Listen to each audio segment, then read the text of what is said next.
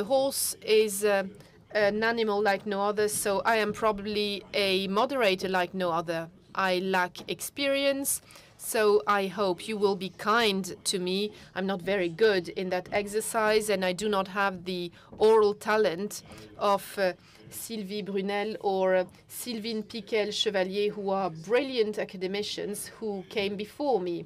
I will probably be a lot more uh, brief and I will start by calling onto the stage the various speakers. We have five of them. Here they are. Sophie Yanou Gillet, are you around? Please come on stage. Dr. Paul Khan, please come on stage as well. I don't know how I should be uh, enunciating your name. Kahn or Khan?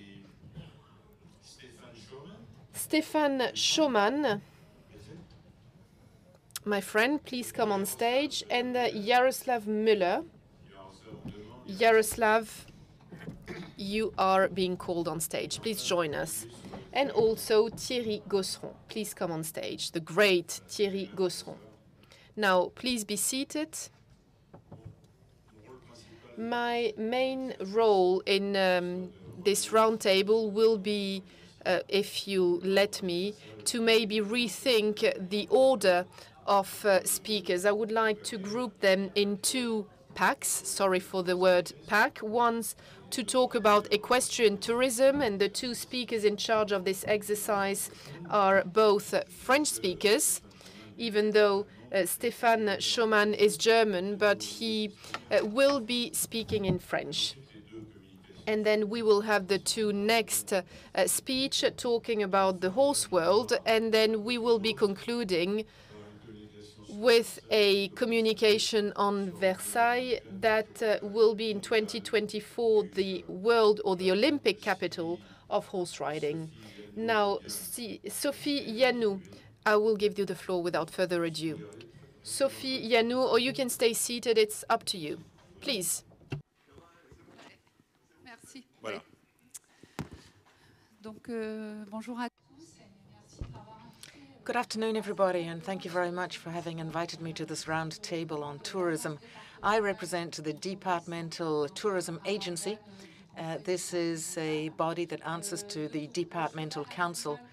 The horse, an animal like no other, how true that is. The horse is not a domestic animal, but it is an animal that can be used for mediation i.e., it is a tool that allows for uh, the meeting between man and the horse, but also meetings between different territories.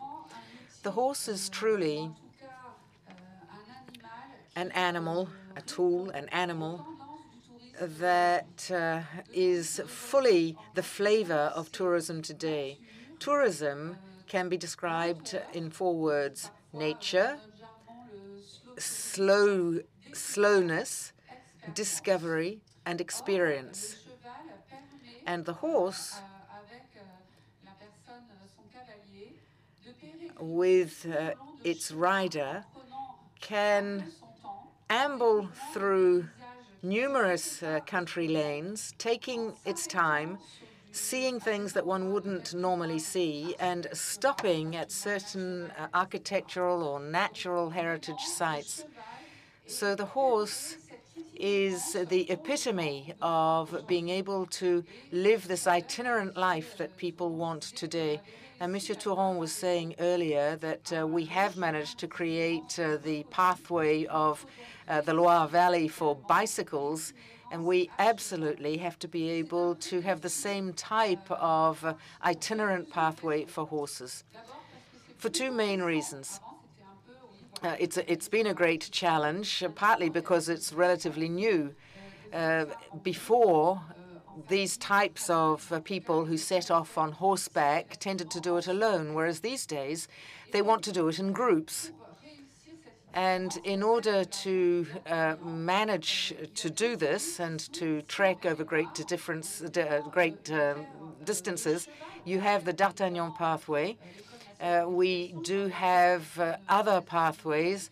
Uh, the we have the departmental park of l'Isle-Briand, which is also a, a very big uh, park that uh, promotes the development of the horse. We have a renowned race. We have the race in Lyon. We have the horse fair that will be taking place, that takes place in Angers uh, every November. So I don't think that the horse can be forgotten. But if you want to be itinerant on horseback, you need certain roads, pathways, infrastructure, centers uh, for uh, for resting up in the evening, for stabling your horse. And the difficulty is that uh, you have to intertwine the development of the paths or the roads themselves and the development of services. It's uh, the role of the departmental agencies and the tourist uh, agencies to cover this. But we see these days that this idea of itinerant uh, holidays is a difficult one. Difficult because you need private partners to invest in the necessary infrastructure for uh, stabling and welcoming the uh, uh, the tourists, and also you need the participation of the different municipalities along the pathway. And a lot of these municipalities have not yet understood exactly uh, how much these uh, horse riders could bring to their own territories. And also to develop these paths, uh, you need uh, the paths to be of an excellent quality. And in the Anjou region, we're working with a partner who's invaluable to us, and that is uh, the Regional Equestrian Tourism Committee. Madame Boutet is present here today. And uh, through working with them, we can certify the quality of these paths. And that is the number one necessity for this type of tourism. They, it requires more and more quality infrastructure. We talk about the need to develop this uh, uh, horse riding tourism in the Anjou uh, region. And in our new uh, plans, what we have uh, uh, foreseen is not just to continue to develop the D'Artagnan pathway, but also to help the municipalities to keep the little um, rural towpaths properly uh, uh, properly maintained. Uh, to ensure that uh, there are there is the necessary infrastructure for the tourists and for their their horses these are the things that we will have to make sure exist if we truly want uh, equestrian tourism to be recognized as uh, bike riding tourism is recognized today, particularly because in this region we have everything for it to be a success. Uh, in, uh, as of today, we have more than 300 kilometers of uh, horse riding paths, the D'Artagnan pathway, but also other paths that are being developed. I keep talking about the D'Artagnan pathway. It's a European pathway. That is what uh, makes it stand out. It's a cultural pathway, it's a natural pathway, but it is the DNA uh, that uh, links all of these different territories. The territories are linked together because of the D'Artagnan pathway.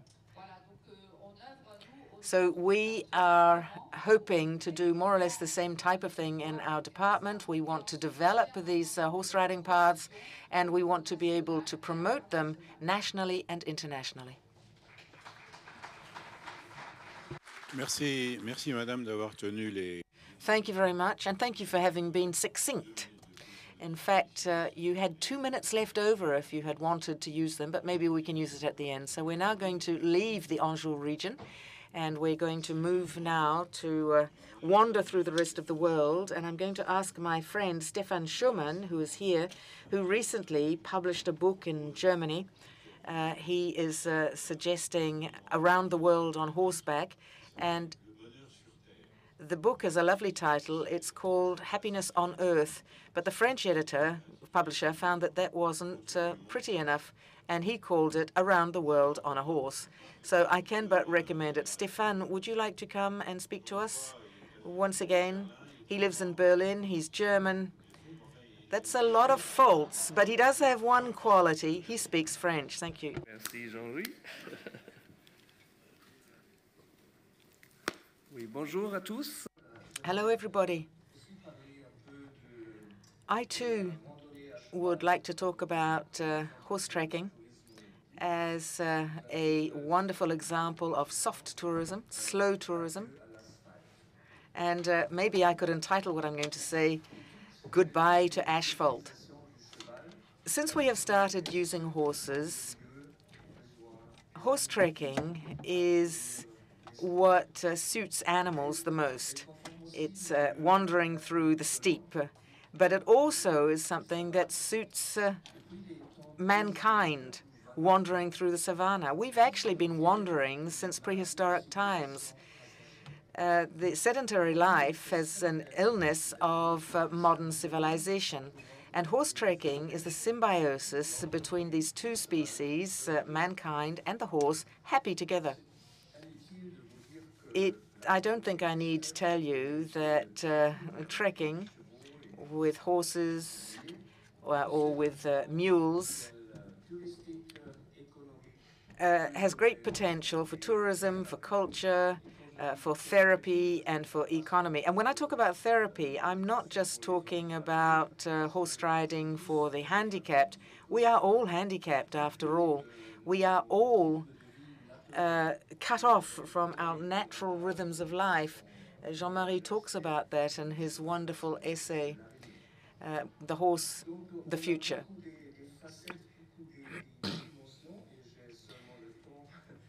There are a lot of facets that I could talk about today, but unfortunately, I have to choose just one or two this afternoon. And I would like to talk about the pathways, the trails.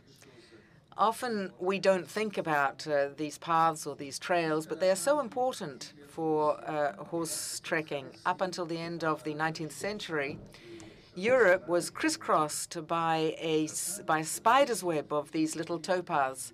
Some of them have been used uh, since the end of the Glass Age, of the Ice Age, sorry, uh, by uh, different uh, men and women. And then there was the competition of the railways, uh, the motor car, and other infrastructure, and all of these pathways uh, were deteriorated. But some of them uh, in the Alps or in the Pyrenees have kept uh, their uh, their towpaths, and particularly these uh, towpaths that are used uh, for uh, animals. These little paths are monuments to mobility, and the best way of preserving them is to keep using them. In my book, I talk about uh, some of the trips that I have done, for example, in Albania and southern Tyrol or elsewhere.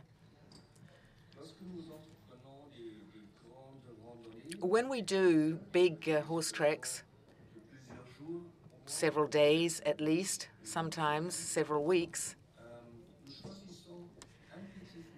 we are very attentive to the trails that we choose to follow, not just because of tradition, except for some of them that are classical, such as the Cherchart path, but because they are much more agreeable for the horse's hooves, but also for our backsides.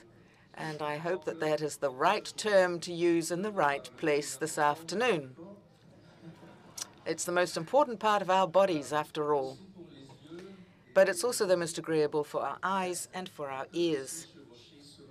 Yes, of course, you can also wander over asphalt. And sometimes you can't avoid having to use uh, certain uh, asphalt roads during your horse treks. But for the ears, the asphalt is a torture. However, if you are riding over an earthen trail that is a very variable, elastic, and dynamic sound, even on paves, paving stones, the sound of uh, hooves is completely different. On asphalt, it is nothing but sound, noise. It is noise. Whereas on paving stones, it's music. It's it's like a percussionist. And it uh, is for these acoustic and rhythmic qualities that we appreciate uh, horse tracks. And that is where the therapeutic uh, uh, aspect of horse trekking comes into it. These old pathways are also part of our heritage, and they are absolutely vital if you want to uh, ride anywhere uh, on horseback. These paths tell their own stories. In Iceland, for example, we followed paths that can actually be found in some of the historic uh, Icelandic sagas, the old stories. So you're right in the heart of regional literature. Uh, the uh, as like horses, these paths tell us stories, but the paths are, all, are also extremely international because they are far older than all nations and all borders. A pathway is uh, the opposite of a frontier. And then you also have uh, the you have a Via Storia, which is an, uh, a great inventory of historical pathways uh, of great cultural and touristic value. And in Austria at the moment, we are beginning to launch a very similar project. Over the last few years, at the same time, more and more of these long-distance uh, horse trails have actually been mapped out. We've talked about the D'Artagnan pathway, uh, there is another big uh, one from Lübeck to Stettin, Stettin, or some of the towering peaks of the Balkans, which I also talk about in my book. These are romantic uh, corridors, and uh, these corridors offer us the fascination of traveling, and they embellish Europe. So my message today is say goodbye to asphalt and respect and love our pathways because they are the true Europeans. Thank you very much.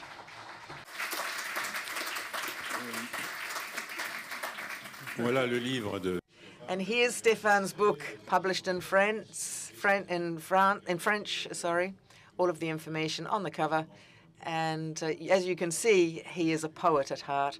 He also published uh, a big book uh, in Germany and in German, uh, a, a, novel on the Przewalski horse, the prehistoric horse. What for a long time we called the prehistoric horse. So this is the book you need if you're interested in that. Thank you very much. I'd now like to give the floor to Paul Khan you're going to love his elegance as well. Mr. Khan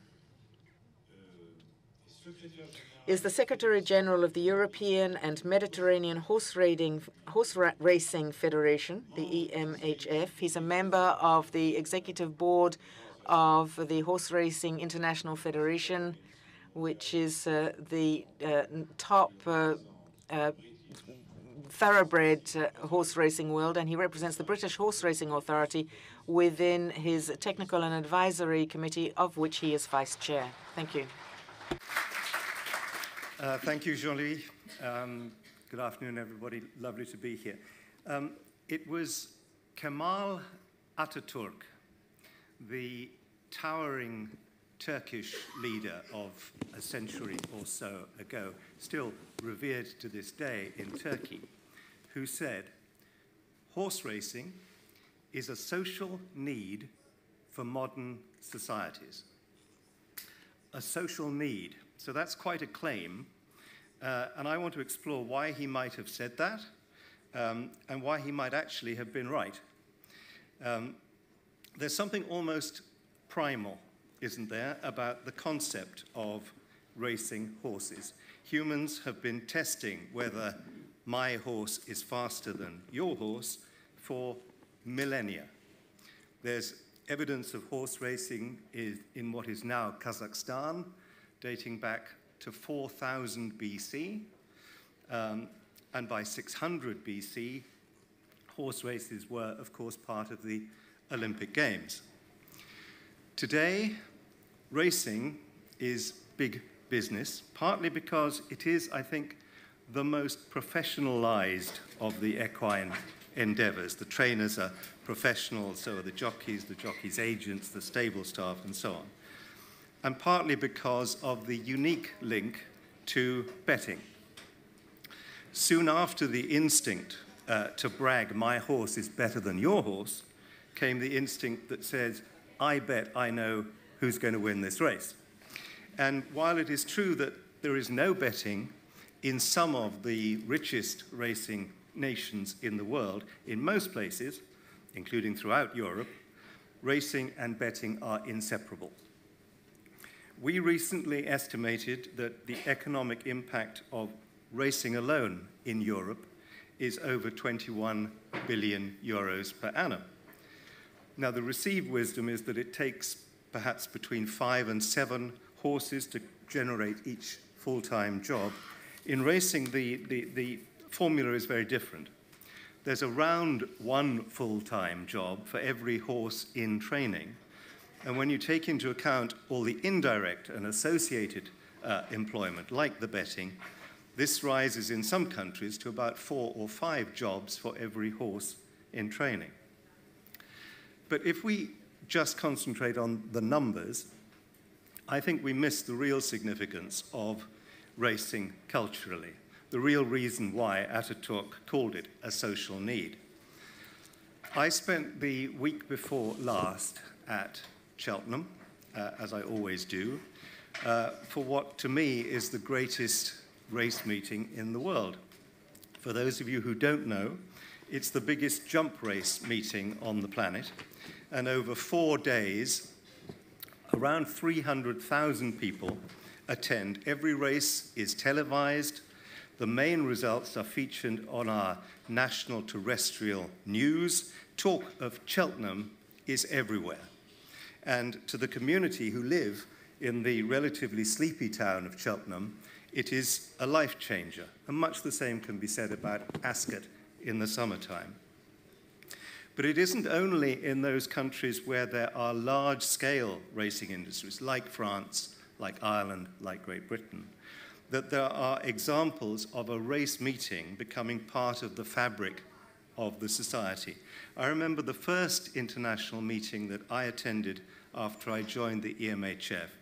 It was in Belgium, where, which doesn't have a great deal of racing, at a pristine little Flemish town called Waregem. They have racing just one day a year when they ran the biggest jump race in Belgium, the Grand Steeplechase of Flanders. And around midday, bollards were set up on every access road into the town. All the shops shut. The whole town closes for business because everybody is at the races. But I think the, the cultural significance of, of racing goes deeper than this. I believe it is a unifying endeavor which transcends religious and cultural differences, and it's a symbol of normalcy. I want to give you two examples of what I mean. The first is from Lebanon. Lebanon's a country of, of great religious diversity. There are 18 recognized religious groups, each with their own family law legislation and set of religious courts. Since independence, 1943, the National Pact guarantees that all these groups have representation in the corridors of power. But for 15 years between 1975 and 1990, the country was racked by civil war. And a green line developed in Beirut, the capital, separating the Christian East from the Muslim West. And smack bang on that green line was the racecourse. Two years into the war, it was decided to re establish racing. 12,000 people defiantly turned up, and from then, for several years, rather than the course becoming a no go area, as you might have expected, it actually became the only place where people from opposite sides of the Green Line could meet each other, united in their love of the sport. And it became a symbol of national unity and of peaceful Christian Muslim coexistence. There's a wonderful short film, you can see it on YouTube, it's German made, uh, which describes this very well. It's called Stories from No Man's Land. At one point, there's a story of a, a former fighter who was ordered by his boss near the start of the war to plant a bomb on the racetrack. So he went to check the place out. He'd never been racing before. And he says, Suddenly, everyone got up, Muslims and Christians together, and started waving their arms around. And then they sat down. I was troubled, he said. All I saw were simple people. Muslims and Christians joined together. He refused to carry out that mission, and the bomb was never planted on the racetrack. And for several years, racing continued for most of the time. And at the president's request, race meetings took place during the worst of the Civil War fighting. And when they were on, the shooting would subside, only to start up again once the spectators had gone home. Extraordinarily, there was never any trouble at the track, and the course was even used as a venue for peace talks. Uh, 1982, the Israeli invasion destroyed the stands, but they were rebuilt in the 90s just after the war. But just because the war was over, it didn't mean that the threats to the racetrack were over. The civil authorities wanted to capitalize on its prime location in the middle of Beirut and use it for a new presidential palace. But there was a concerted and spirited campaign to save the track, which attracted great public support. The French were instrumental in saving it. Even Jacques Chirac got involved, doubtless because he appreciated the symbolic and healing properties of horse racing. And my other example, my last example, is Libya. You'll remember how Libya descended into turmoil and civil war after Gaddafi's overthrow. However, despite the chaos and the conflict, horse racing has staged a remarkable recovery in that country. Seemingly at the very first opportunity, races were being organized again and were attracting big, big crowds. And remarkably, Libya is this year going to stage one of the most valuable races in Europe. The Libya World Cup is due to be run in Tripoli in December, and it'll be worth nearly a million euros, financed through government support.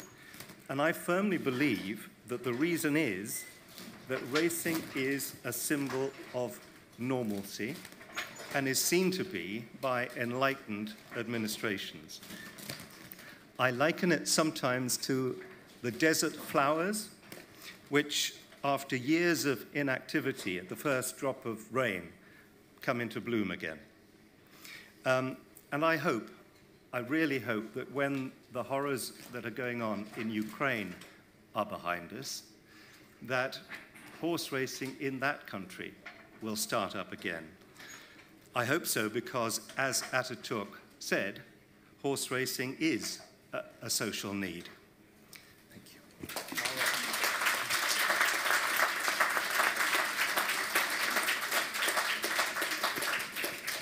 Bravo, bravo, merci beaucoup. Very well done. Wonderful speech. Wonderful illustration. Thank you so much. Sir, it is your turn. Mr. Yaroslav Müller, who is uh, the president of uh, the Pardubice races, the president of uh, the Czech Republic, and also with the tradition of steeplechase for over 150 years. He also uh, represents Euro Equus, the network of horse cities in Europe, and Saumur joined it in 2021. You have the floor. Good afternoon, ladies and gentlemen. First of all, I would like to say that I am very pleased to be here today in such a nice place, in such a great company. It's an honor for me. Today I am representing the town of Pardubice, also known as the town of uh, horses. I'm also representing the race course in Pardubice. That's the place where the great steeplechase named Velká Pardubická is held since 1874 which is also nice, uh, nice uh, event to, to visit. What I would like to say, uh, today we heard very interesting and sophisticated uh, presentations from my colleagues. We heard a lot of about the different kind of uh, horse breeds, different type of horses, veterinary, veterinary rules, economy, legislature, and other. For me, the most important thing in the 21st century is the horse welfare. That's a topic that was repeated today quite a lot, and that's very good, especially for me, for a person who is responsible for race course in Pardubice. And when I say race course in Pardubice, that means steeplechase and cross country, of course. It is our duty to create the safe and comfortable conditions for all horses competing wherever on the world. And that's our task for next, next season, for, for next years. Uh, as we all certainly know, during the past two years, we have gone through very difficult times as far as the COVID-19 is concerned. I do not want to speak about the, the, bad, uh, the bad impact on the organizers. We all know that we have been canceling our events. We know that we have been running without all audience. I do hope it's, it is all over and we can focus on the new season that I hope is going to be in the, in the, normal, in the normal way. There are also some other sides of the COVID. For instance, and that's what I would like to say, is that the situation in the Czech Republic has been influenced by COVID. It is clear that the popularity of the horses in general and the related activities has been increasing during the COVID times. The same applies to the other statistics, such as the number of equestrian competitions and issues license. The equestrian sport has become a permanent part of TV coverage, which we didn't know since that time. The Czech Republic has returned to the Olympics with a complete horse jump team after 85 years, which is a great news. As far as the situation with racing, and again I mean racing, steeplechase, and cross country is uh, following. The situation is a, bit, uh, is a little bit more complex as the operation is very costly. The flat races have stagnated and local breeding of the English thoroughbred can hardly compete with the traditional horse breeding on the British Islands and in France. The most famous continental cross-country steeplechase, Velká Pardubická, which has been organized since 1874, is still a very popular and prestige event, and the fame of Velká Pardubická helps other steeplechase organizers to promote their activities, which is the good side. There is an, another good information for us. During the difficult days, we know the, from the statistic that on the TV, we have a bunch of 2.5 million people watching this great steeplechase only in the region of the Czech Republic. I do hope that we will be able to invite all of these people this year at the racecourse in Pardubice. And since I know that not all of you were watching this race course on TV. So the invitation is also for you, and I, I will be more than happy to see you in Pardubice. Thank you very much for your attention.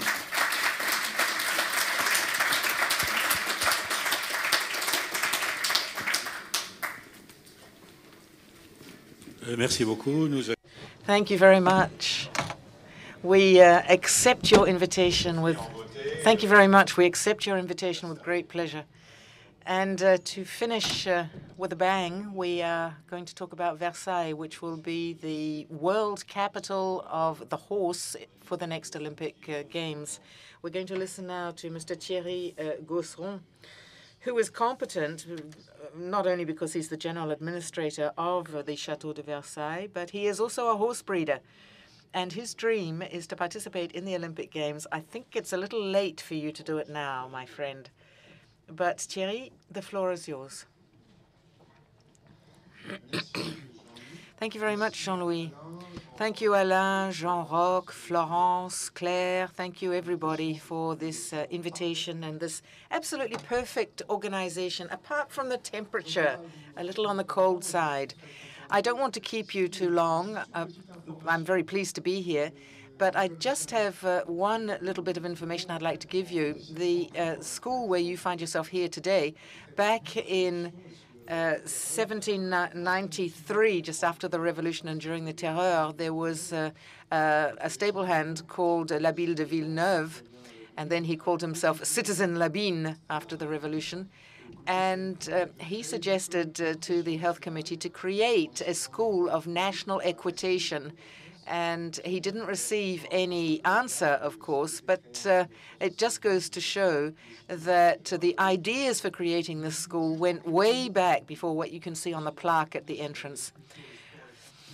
Talking about agriculture, sports, and culture, talking about the, horse uh, that uh, is an animal like no other, uh, maybe I would do better to answer the question, why are we thinking of holding the Olympic Games uh, in Versailles for the horsing of horse events? Now, we talk about uh, animal welfare, the welfare of horses. That is one of the prime uh, conditions for holding these uh, equestrian games in Versailles. I remember that uh, when we were talking about, uh, back in the day, when we were talking about uh, having the um, uh, the candidacy for uh, the Olympic Games, why the, you had the Eiffel Tower uh, back in the day, the the Grand, Grand Palais wasn't there, and therefore, without asking permission of anybody, the minister or the the town hall because there's an old saying that says it's always better to ask for forgiveness rather than ask for permission to do something. And that's what we did with Francois. Now, everybody is delighted now at the initiative of having the uh, Olympic Games in uh, Versailles. But at the beginning, it was a very risky uh, uh challenge. And I think that it was what uh, weighed in the balance uh, for us to win out over Los Angeles and other uh, cities. We couldn't do any other sports uh, at Versailles. There was no reason to do uh, uh, any of the javelot or weightlifting. the in Versailles, in the in the castle, in the chateau itself, we have old parquet uh, the uh, the sky over the the uh, chateau is still the same as it might have been 200 years ago. But the other thing that is still the same as uh, hundreds of years ago is the presence of horses.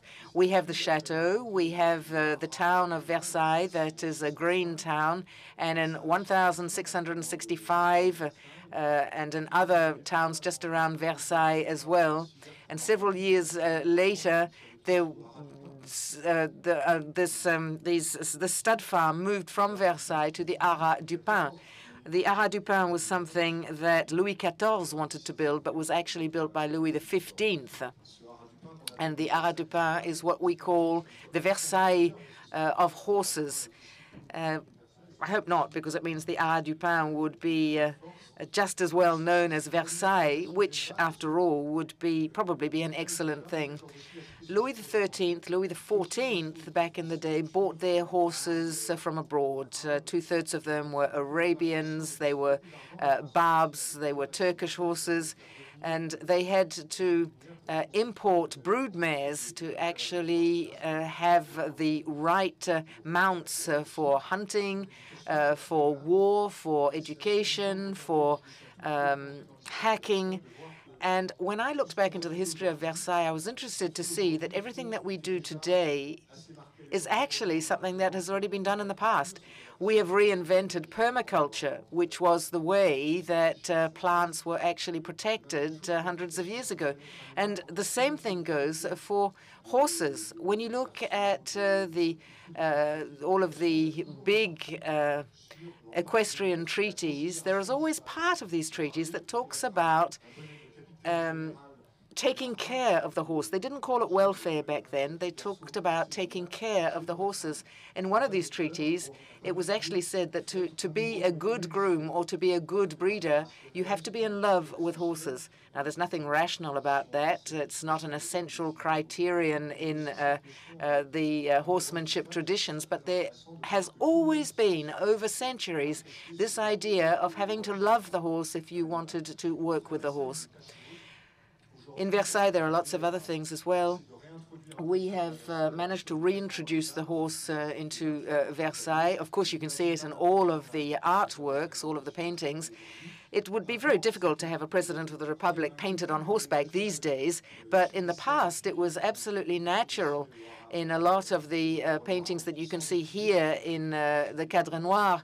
You can see them as well without stirrups, because without stirrups it was considered to be more noble. And uh, war horses uh, were uh, were often shown, and you have uh, the best well-known painting, that of Mignard, the, the Battle of Maastricht. I think that this is one of the most beautiful horse paintings where you have a true um, osmosis between man and the animal. Uh, there was always, there's always been this relationship with the animal. So we have tried to bring the horse back into Versailles, not just uh, in paintings and in sculptures, but actually in real life. We have uh, Bartabas, you've probably heard of uh, the uh, entertainment, uh, the, the shows that Bartabas uh, puts on in Versailles. We also have carriage rides. Uh, 260,000 people take a carriage ride in Versailles every year. Uh, and I think that this is wonderful for them all. So there are lots of things that go on at Versailles that have to do with a horse up until the 2024 Olympic Games, where we will be holding the equestrian events. As Coubertin said, we want to also hold a great uh, exhibition of the horse through the ages in art. Uh, starting from some of the earliest uh, paintings uh, uh to the most uh, contemporary ones, one of which you have a horse jumping through the canvas of the painting. but we hope that we're going to be able to mix up sports and culture it's never an easy task to do that. Uh, the, the, world of art is, or the world of uh, uh, the world of art always uh, has a connotation of being slightly more snobbish, whereas the world of uh, culture is more popular. So these 2024 Olympic Games should uh, will take place on the the the, the royal circle in, in the main alley of Versailles in front of the Grand Canal. And there we will be able to have dressage and show jumping, but the eventing will take place throughout the entire park. So you'll have to cross over the canal.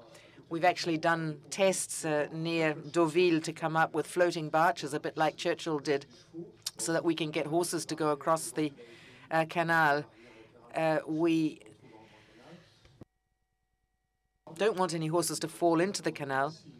But I think that there are going to be some quite remarkable things to see. And maybe uh, after having seen Top Gun, many people wanted to be fighter pilots. Maybe after having seen horses in Versailles, many uh, youngsters will want to be horse riders. We hope so. I'm not going to spend too much time on that. But we also say that the horse is an animal like no other. We've talked about the horse being productive, the horse being a, a friend. The horse is nonetheless different from other animals. I would advise you to read a book written by Marc Alizart, which is called Dog.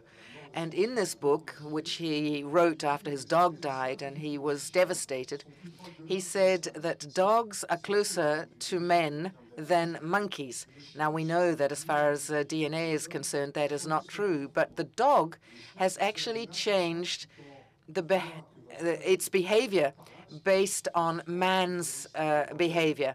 Uh, the, the dog will actually turn to look at what you are looking at uh, simply because of the years that they have spent with us. A monkey won't do that. And I think that the horse, which is something between uh, culture and uh, nature and domestic uh, animal and working animal.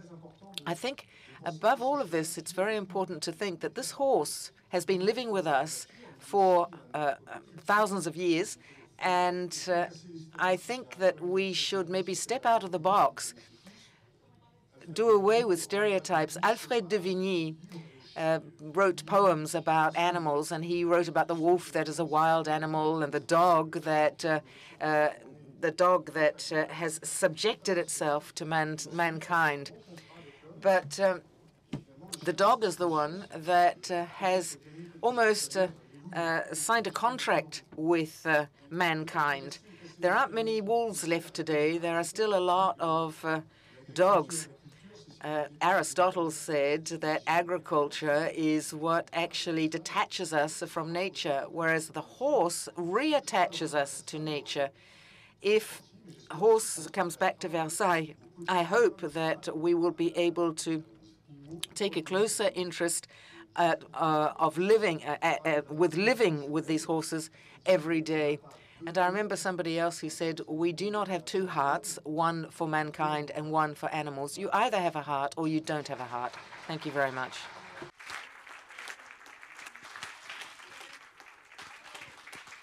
Oui, je, je vous avais bien dit qu'on finirait en apothéose. euh. I told you we would finish off with a bang. Do we have any questions for any time for questions, or are we really very late? Mr. Lucas.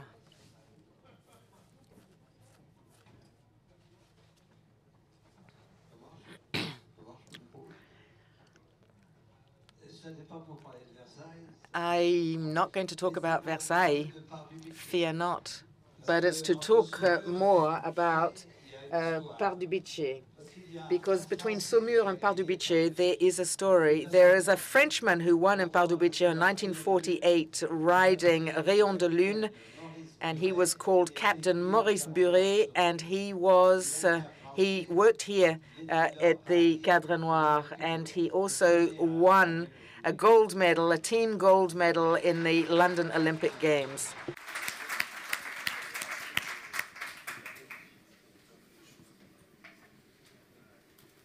Madame la directrice euh, Non, non. Madam Director, are there any other questions?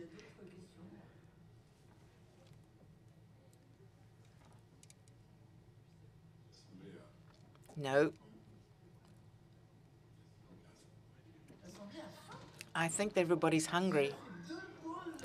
How can they be hungry? We've already had two coffee breaks with all sorts of little tidbits.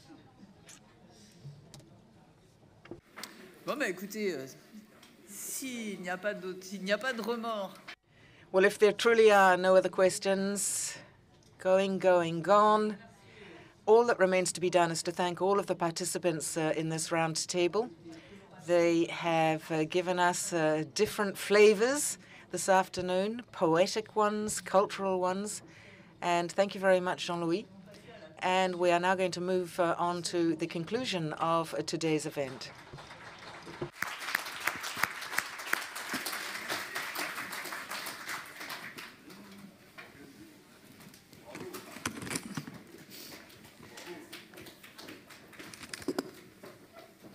Alors c'est Marc Vantine qui devait Mark Van Tine was meant to be concluding today, but as you've understood, uh, he is not here for an excellent uh, reason.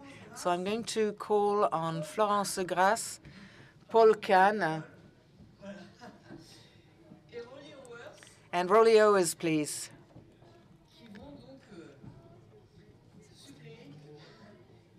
Who are going to stand in together and give us the conclusion of today. Euh, euh, Well, thank you very much. Uh, we have been asked as uh, members uh, to actually conclude uh, this uh, day, a day that has been fascinating, poetic, and as we all participated in one round table, we wanted to give you a very brief summary of each round table and uh, also come up with one or two uh, requests. The last uh, conference uh, on the horse in 2009 under the Swedish presidency, they also ended with requests and uh, left a heritage.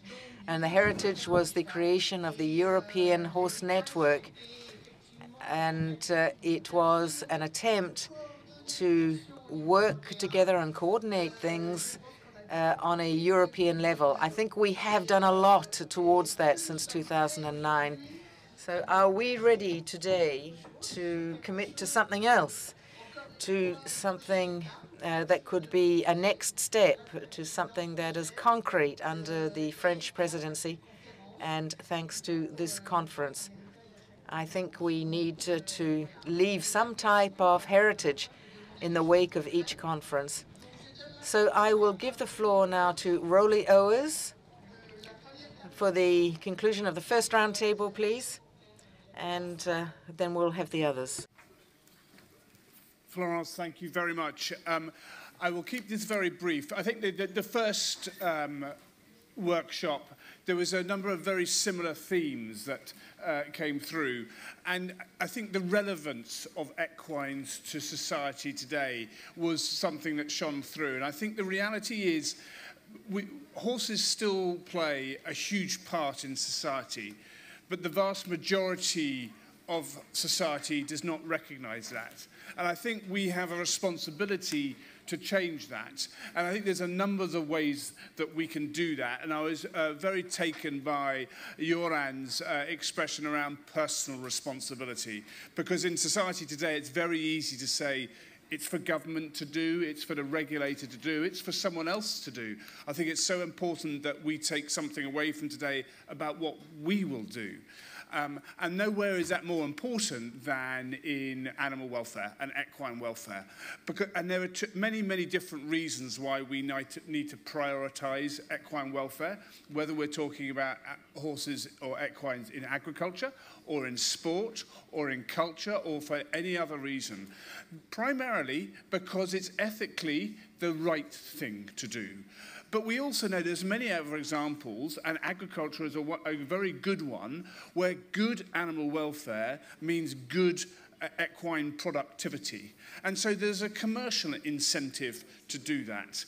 And I was very taken what the member of the European Parliament said about how we need to be proud of what we do um, to support and develop equine welfare. And I think that's something equally we need to take, take forward.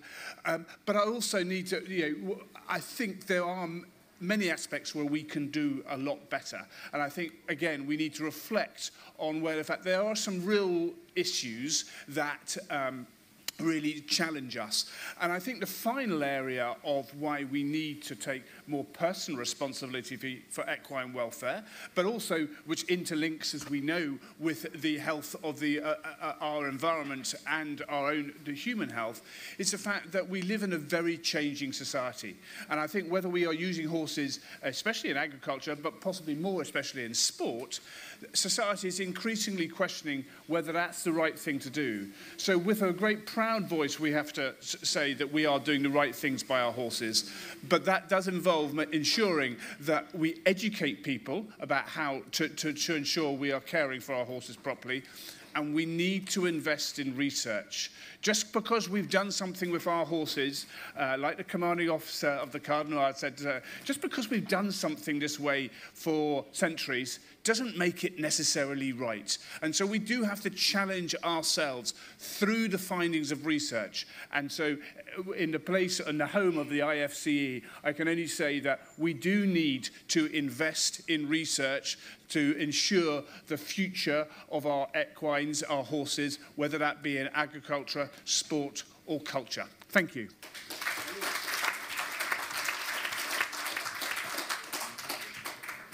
Merci. Thank you very much.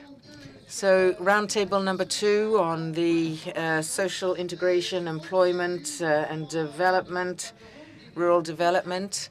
I think that uh, some concrete uh, measures were talked about in this roundtable, things that have been done by the Senate, by the National French National Assembly, by IFCE, with Equi-Ressources, and also amongst local players. So these uh, different concrete things have shown that there is a true resolve to coordinate in order to promote uh, the horse sector and the very important impact it has on rural development and on employment and uh, to ensure that these these are jobs that cannot be delocalized, jobs in tourism that is that are only just beginning to uh, to, to flourish today. So concrete, concrete actions, coordinating with politicians, this is extremely important. uh, horse groups and the different institutions, rep horse, representatives of the horse and uh, of the environment and local structures, all of this uh, advocates for concrete structures. And it also shows, we also saw that over a certain number of years, these jobs exist, but it is not easy to put them forward. And uh, yet, all it would take uh, would be to, all it took was three people who managed to change uh, the name of the game there and put forward these jobs and make them more accessible. So that second roundtable showed that coordination is uh, of prime importance, and we must continue to do so if we want to promote the horse sector. I, am not going to single out the, uh, the lessons from the last roundtable because it's only just happened, but I think what's been very clear from all three of the roundtables that we've had today is that the unique, uniquely multifaceted way in which the horse and man interact. I don't think we could have had this conference on any other animal other than the horse. But I think maybe the very fact that it is so many different things to so many different people makes it, and therefore it, it, makes it so difficult to pigeonhole, that very fact makes it uh, uh, easy for legislators to um, uh, draw a veil over the horse, to overlook the horse, uh, to, to treat it almost as a, an afterthought. We, we've seen how the horse has all the necessary assets to be treated extremely seriously and recognized fully by the public bodies. We've talked about its, its green assets and green credentials, about its agricultural assets, about its, the jobs that, that it, it creates in, in, in rural environments, about its, its role in therapy, about its role in sport, um, its cultural assets, all of these things. But despite all of that, the horse is often marginalized in legislation. And we think that one way to address this, as Florence has said earlier, is to have better data, objective data. And one thing that we would like to see and we would like to call for is to have a Eurostat study on the horse sector. That would be one uh, takeaway message I think that we would want to leave.